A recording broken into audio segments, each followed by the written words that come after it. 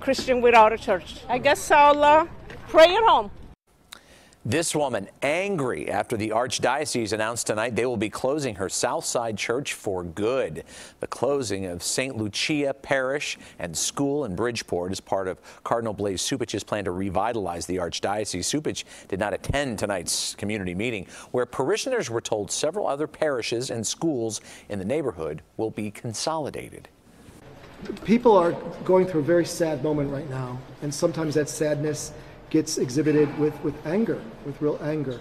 Um, the invitation is to dig very deep into that very core foundational faith.